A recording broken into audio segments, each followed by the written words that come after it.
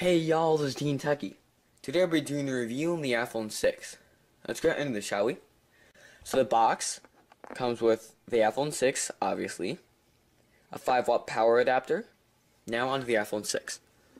So on the rear, the iPhone 6 has the 8.0 megapixel iSight camera that can record 1080p.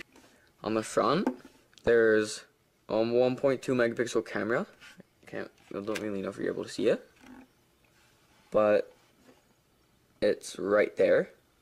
Then we can record up to 720p for FaceTime. Hey y'all, this is Dean Techie. Today I'll be doing a review on the iPhone 6. Let's get into this, shall we? So the box comes with the iPhone 6, obviously, a 5 watt power adapter, now onto the iPhone 6.